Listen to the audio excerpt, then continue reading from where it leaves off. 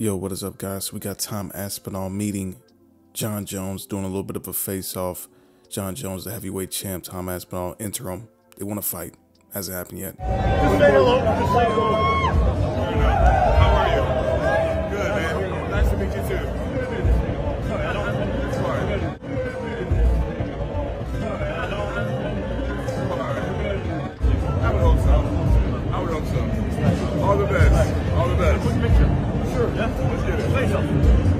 Little bit of an interesting moment with the hand on the shoulder. Jon Jones removes it. That was the first time you met him, huh? wasn't First it? time I met him. He's nowhere near as big as I thought. I thought he was a lot taller, but I guess when you're fighting light heavyweights for your full career and you're 6'4, you look really tall. So they have Jon Jones listed at 6'4. They got Tom Aspinall listed at 6'5. So a little bit of a height difference. And Tom Aspinall's a big boy. He's a big guy. Both of them big, but Tom Aspinall probably a little bit bigger.